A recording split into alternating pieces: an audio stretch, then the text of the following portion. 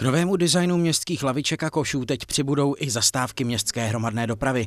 Vítězem soutěže návrhů na nový městský mobiliář se opět stali designéři, kteří právě s projektem košů a laviček uspěli už v loňském roce.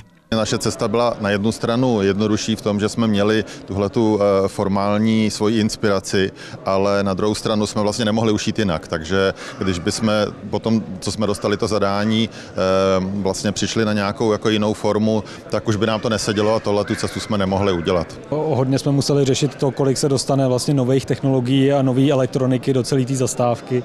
A tohle ten celý systém má zároveň vypadat jako hrozně jednoduše a hrozně subtilně a krásně. Do jednacího řízení o nové podobě zastávek se přihlásilo 13 subjektů. Odborná porota pak vybrala šest nejlepších, které ocenila. Ti na základě eh, doporučení poroty a na základě konzultací s tou porotou vlastně dopracovali ty návrhy do, eh, do formy, která tady dneska je eh, prezentovaná. Zhruba polovinu zastávek s přístřežkem ve městě Praha nevlastní. Smlouva jejich poskytovateli vyprší zhruba za dva roky. Město pak bude mít své vlastní návrhy, které zadá k realizaci. Já jsem chtěl hlavně, aby město bylo vlastníkem těch autorských práv, vykonavatelem jejich, abychom nebyli v nějak závislí, když se ukáže, z nějakého důvodu, že je tam potřeba přidat nějaký informační panel nebo nějak to doplnit, tak aby město bylo nezávislé v tomto ohledu.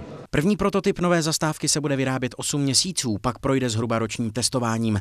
V první vlně, která se plánuje na rok 2020, tak zhruba 700 zastávek stávajícího poskytovatele nahradí nové, které už budou patřit hlavnímu městu. Jan Varga, televize Praha.